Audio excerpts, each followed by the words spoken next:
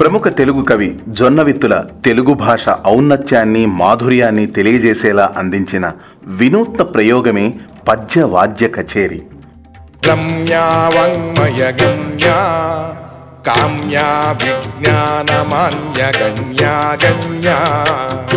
పద్యంలో వెలువడే ధ్వనులు వాద్యం నుంచి వచ్చే శబ్దాలు ఈ రెండింటినీ కలగలిపి విచిత్రమైనటువంటి రసవత్తరమైన భావములతో పద్యాన్ని పలకరించడమే ఈ పద్యవాద్య కచేరీ ఉద్దేశం పీపుల్ మీడియా ఫ్యాక్టరీ అధినేత టీజీ విశ్వప్రసాద్ సమర్పణలో రూపొందిన పద్యవాద్య కచేరీ సీడీని ఆంధ్రప్రదేశ్ ముఖ్యమంత్రి నారా చంద్రబాబు నాయుడు గారు ఇటీవలే ఆవిష్కరించారు.